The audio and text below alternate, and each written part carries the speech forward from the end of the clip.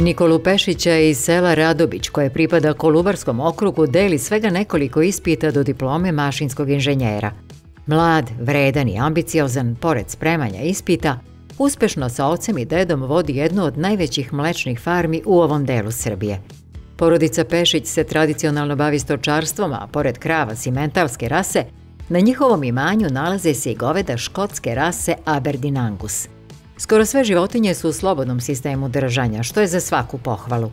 Hrane ima dovoljno, spremljena je i silaža i senaža, pa će nastupajući zimski period naši domaćini dočekati spremni. Ja sam treća generacija koja se bavi stočarstvom. Ovaj, trenutno imamo na farmi 18 muznih krava, otprilike 40 ukupno muznih krava, ovaj, junica i teladi.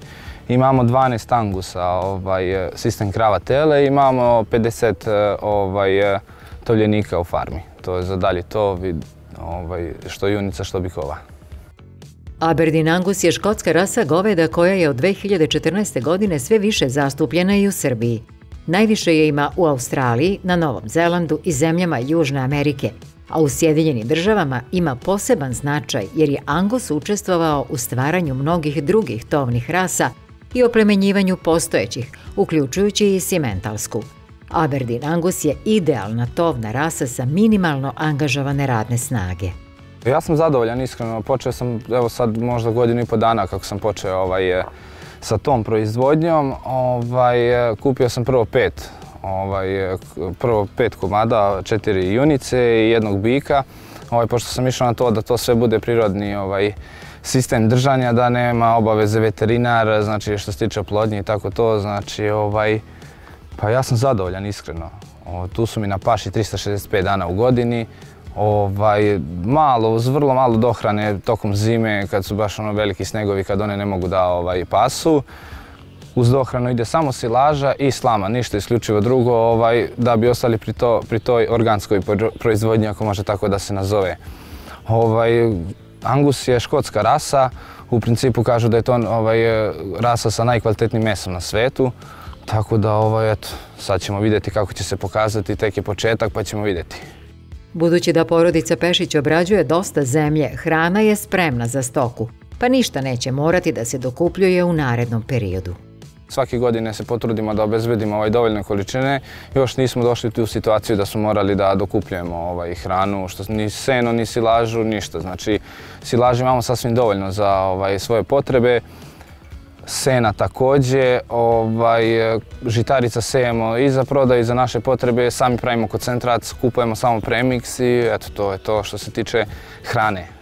Dnevni prosjek u proizvodnji mleka iznosi oko 400 litara i ono se predaje mlekari granice sa kojom pešići imaju dobru saradnju.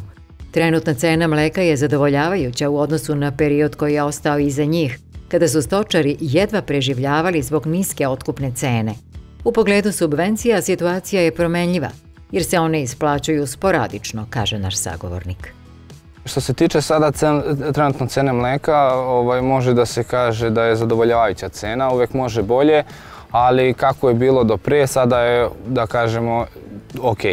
Ovaj, a što se tiče ovaj, subvencija, pa ne znam iskreno šta da kažem, ovaj, 50-50%. Neke se isplaćuju, neke se ne isplaćuju, zavisi, evo tu sam kupio ovaj, prošle, preprošle godine prikolicu i germinator, ovaj, e, predao sam za povraćaj od 50% ovaj, povraćaj novca i to još nisam dobio, Čeka, čekam već godinu i po dana.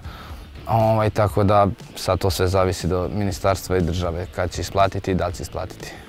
Mladi poljoprivrednik nam je rekao da posle završenog fakulteta njegovi dalji planovi ipak idu u pravcu ostanka na selu i bavljanja poljoprivredom.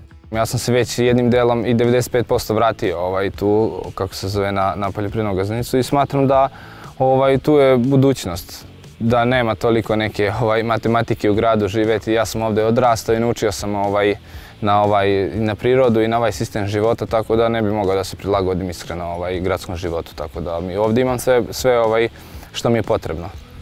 Jesenja setva pšenice i drugih ozimih kultura donosi proizvođačima nove izazove u poslovanju.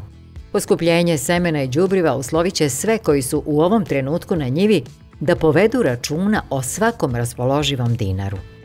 s tim da je cena 64 dinara plus premija, može da se kaže da je donekle dobro, da idealno nije, ovaj, s tim da su, da su repromaterijali, cene repromaterijala previše visoki. Evo sad ide setva, u toku i setva pšenice, ovaj, vidjet ćemo kako ćemo se izboriti, ogromna količina novca treba se pripremi za ulaganje i ovaj, a sve je poskupilo, mislim da je đubrivo preko 115 dinara ovaj, što je potrebno za, za, za pripremu ovaj, setve i seme ovaj, pšenice isto baš, baš, baš skočilo gore.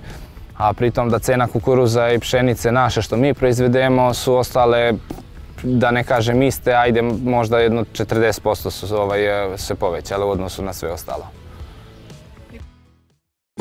Domaćin će svaki znati dobar savjet se isplati sa novog portala Vreba Savjeti sa agroneba. Posjetite ovog trena i nestaće ta dilema.